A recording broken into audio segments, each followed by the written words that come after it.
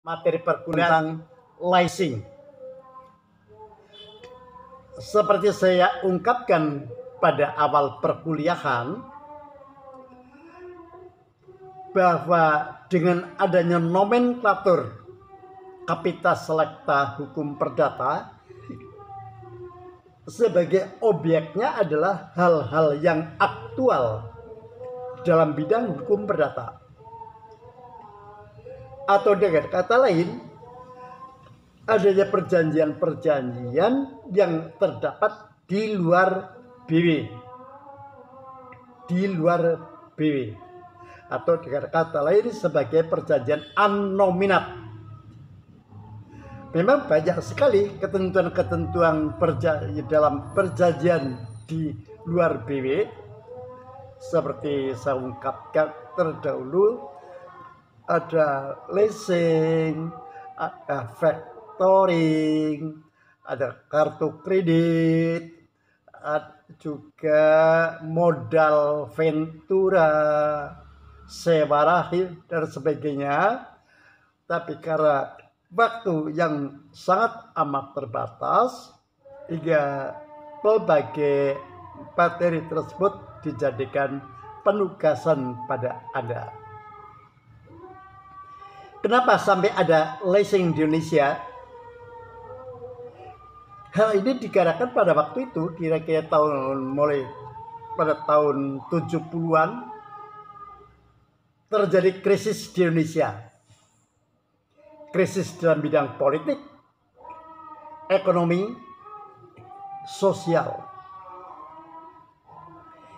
Krisis dalam bidang politik dikarenakan keadaan negara pada waktu itu adalah keadaan yang sangat carut marut.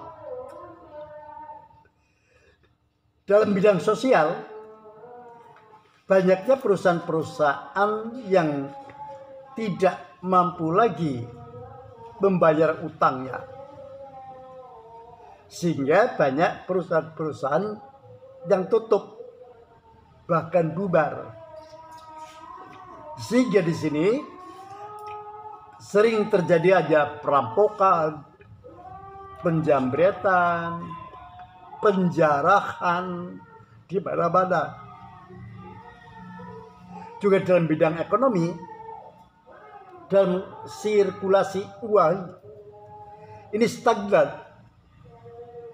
sehingga banyak kalau terutama pada masyarakat yang menengah ke bawah ini sangat menderita. Apa yang dilakukan oleh pemerintah pada waktu itu? Berbagai hal dilakukan oleh terkenal begawan ekonomi kita, Profesor Sumarlin, yang terkenal dengan kebijakannya agak pakdes ya atau disebut dengan paket Desember memang paket ini diumumkan pada tanggal 20 Desember 1988 Pelbagai kegiatan yang tadinya berasal dari Amerika Serikat dibawa ke Indonesia dan begitu berkembang pesatnya di Indonesia. Di antara pelbagai jenis bisnis yang demikian pesat adalah mengenai leasing. Mengenai leasing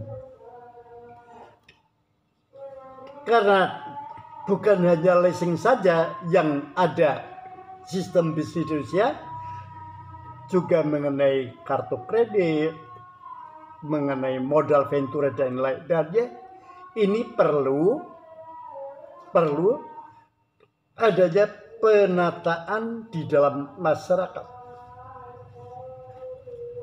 Oleh karena itu, dikeluarkanlah surat keputusan bersama tiga menteri. SKB tiga menteri. Yaitu surat keputusan Menteri Keuangan nomor 122 garing MK garing 4 Romawi garing 2 garing 1974 yang kedua yaitu surat keputusan dari Menteri Perindustrian sebagaimana dituangkan dalam surat atau dalam SK-nya nomor 32 garing M. Garing SK garing 2 garing 1974 dan yang ketiga surat keputusan dari Menteri Perdagangan. Yang dituangkan dalam surat keputusan nomor 30 garing KPB garing 1 garing 1974 inilah aturan yang dikeluarkan oleh pemerintah dengan adanya berbagai kegiatan dalam hukum bisnis Indonesia. Ternyata perkembangan luar biasa sehingga perlu adanya pengaturan yang lebih lanjut. Sebagai wadah dari kegiatan-kegiatan ini, maka dikeluarkanlah keputusan yang lebih tinggi kedudukannya yaitu keputusan presiden nomor 61 tahun 1988 1988 tentang lembaga pembiayaan dikeluarkannya kepres ini diharapkan adalah untuk mencari sumber dana alternatif. Dicari sumber dana alternatif. Permasalahannya, memang secara konvensional, kalau terjadi kredit itu kan melalui lembaga perbankan ya. Tapi pada waktu itu bank kita tidak sehat, bahkan banyak bank yang dilikuidasi sehingga pemerintah mencari sumber-sumber pembiayaan alternatif tersebut. Memang seperti eh, usulan dari Profesor Mubiarto dari UGM tidak ada pilihan lain adalah bahwa sistem ekonomi kita adalah ekonomi kerakyatan. Artinya apa? Bertumpu pada kemampuan masyarakat. Kalau selalu didasarkan pada ekspor impor, ini kita sering dalam persaingan ini lemah. Dengan demikian dari Profesor Mubiarto ini juga diangkat dalam permukaan dan selalu akan dikombinasikan dengan rencana-rencana pemerintah dalam mengatasi perihal tersebut.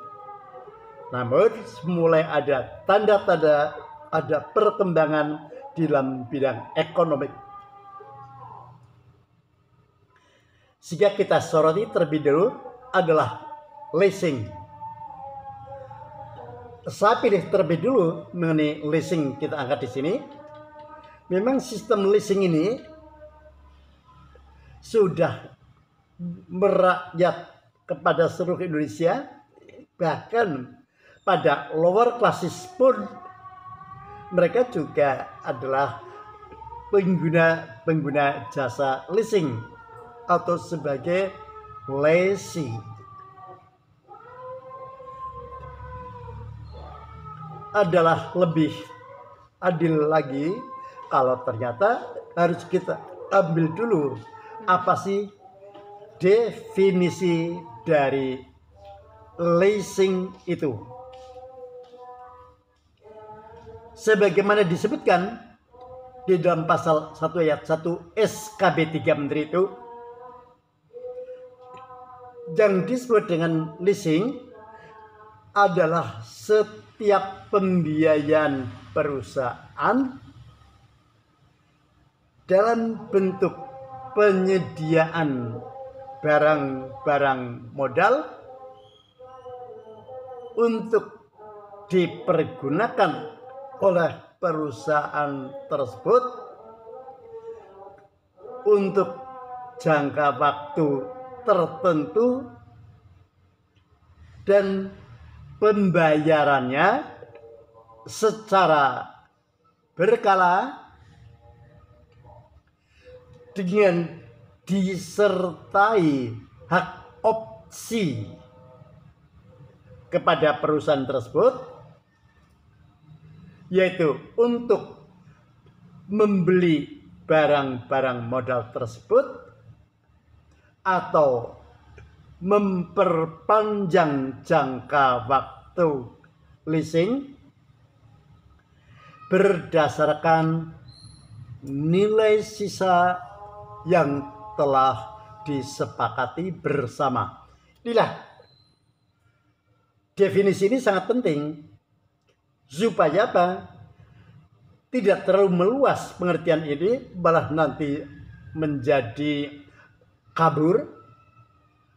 Tapi dengan definisi ini, dengan skupnya yang terbatas, dia akan memberikan pemahaman yang dapat diterima dalam masyarakat karena mudah dicerna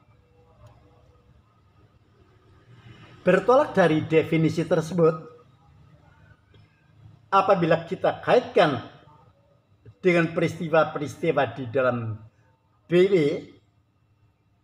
khususnya kalau kita kaitkan dengan ketentuan-ketentuan jual beli yang telah dimuat di dalam bukunya Prof. Subekti, yaitu aneka perjanjian,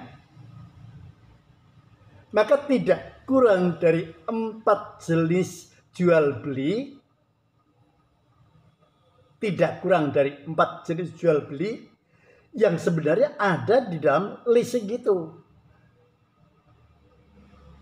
Pertama, karena tadi disebutkan adanya pembayaran secara berkala, ini yang di bukunya Profesor Publik adalah adanya jual beli secara angsuran. Jual beli secara angsuran. Dari di mana di dalam jual beli ini yang substansinya kalau kita perhatikan pada 1457 itu sudah terjadi kesepakatan mengenai barang dan harga antara calon pembeli dengan calon penjual, maka di situlah titik terjadinya jual beli, yaitu pada saat dicapainya kesepakatan mengenai barang dan harga. Mengakibatkan kewajiban lebih lanjut baik kepada penjual maupun kepada pembeli. Seperti diatur pada 1458 yaitu hak obligator. Penjual harus menyerahkan barang yang telah disepakati dalam jual beli. Pembeli harus membayar harga dalam kesepakatan jual beli tersebut yang selanjutnya, kapan terjadi pengalian kepemilikan ini? Harus dilakukan levering, penyerahan. Seperti diatur pada 1459, kepemilikan itu akan beralih dari penjual kepada pembeli setelah dilakukan levering. Ini unsur yang pertama. Yang kedua yaitu adanya jual beli secara fidusia atau jual beli dengan jaminan fidusia. Ini berarti bahwa di dalam jual beli ini terdapat dua perjanjian. Pertama yaitu perjanjian mengenai utang piutangnya yang disebut sebagai perjanjian prinsipal atau perjanjian pokok. Dan kedua, perjanjian utang piutang mengenai bendanya, jaminannya. Ini sebagai perjanjian asesor. Oleh karenanya, di dalam jual beli dengan jaminan fidusia ini, kepemilikannya sudah beralih.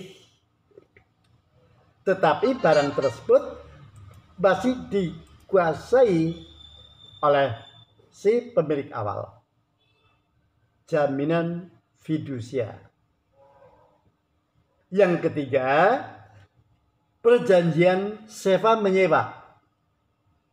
Karena di dalam unsur leasing ini ada pembayaran dari harga pokok atau modal barang leasing, tapi juga sebenarnya di dalamnya dari pihak lessor kan memperoleh keuntungan dari bunga.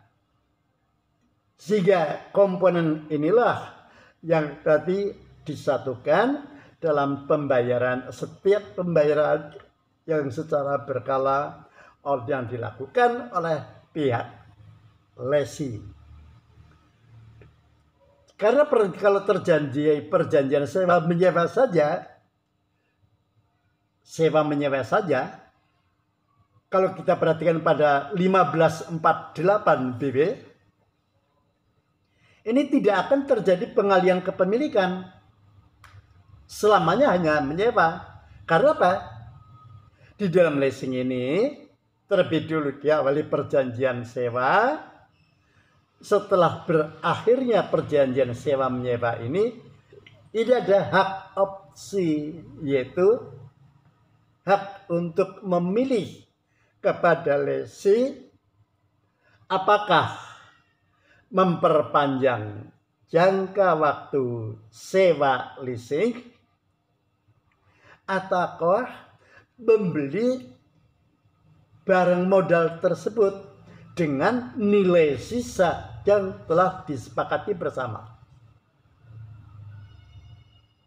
Dan unsur yang keempat yaitu sewa beli.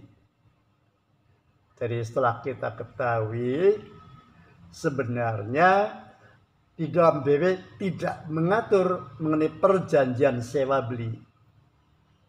Tapi karena kebutuhan dari masyarakat memerlukan sistem sewa beli ini dalam pembelian suatu barang dikarenakan dana yang terbatas sehingga pembayaran dilakukan secara berkala diharapkan pada berakhirnya dari sewa beli maka kepemilikan akan beralih kepada lesi.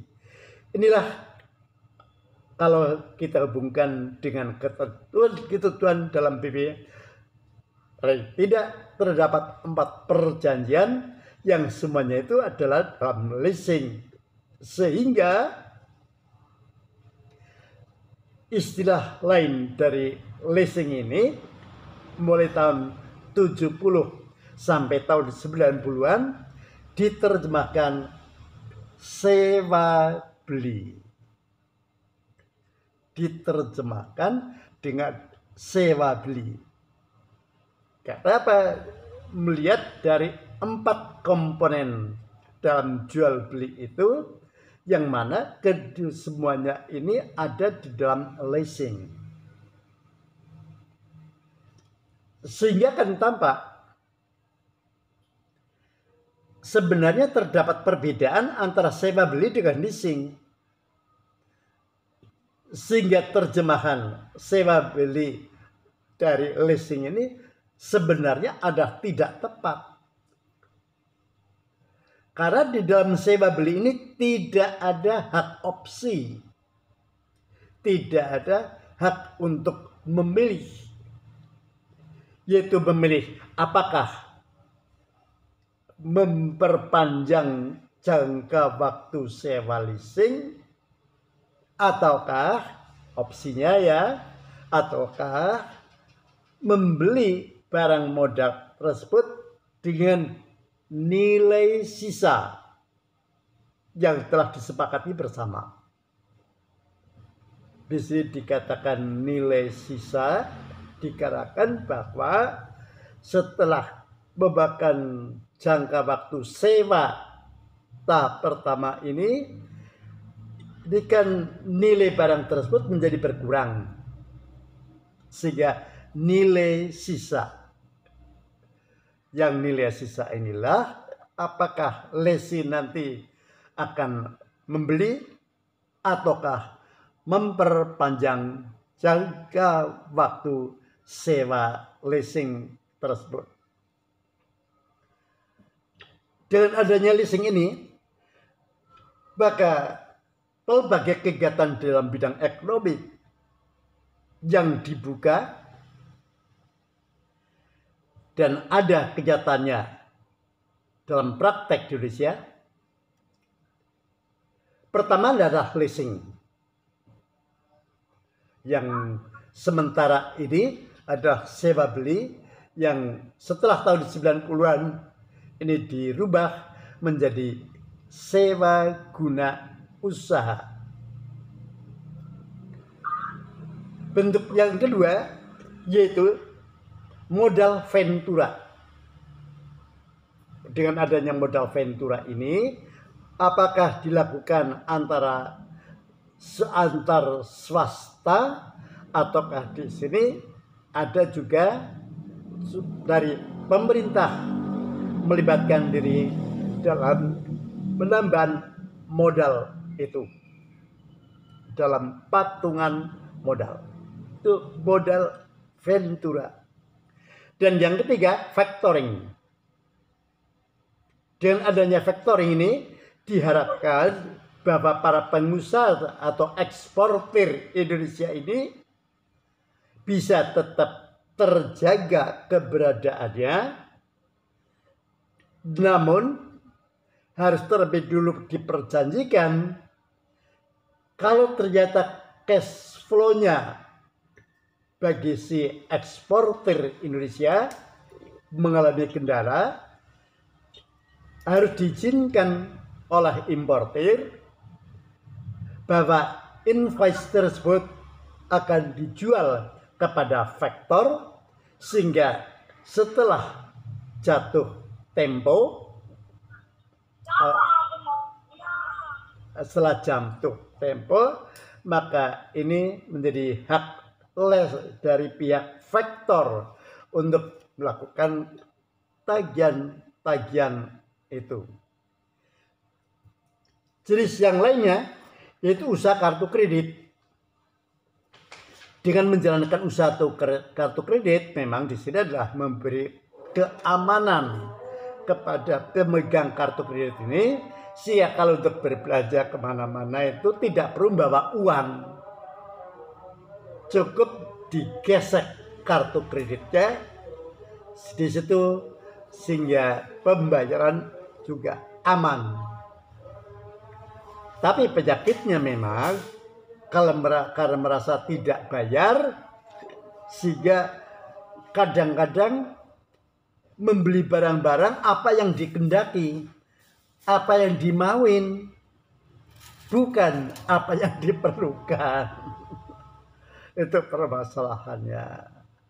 Di itu juga kegiatan pembiayaan konsumen yaitu menalangi terlebih dulu kepada konsumen akan berbelanja sesuatu barang tapi karena dananya terbatas sehingga tidak peran lembaga konsumen akan menutup harganya tersebut sehingga nanti si konsumen ini membayarnya kepada lembaga konsumen. Dan selanjutnya adalah mengenai perdagangan surat-surat berharga. Inilah sistem yang berkembang pada waktu itu. Sekarang lihat kembali leasing.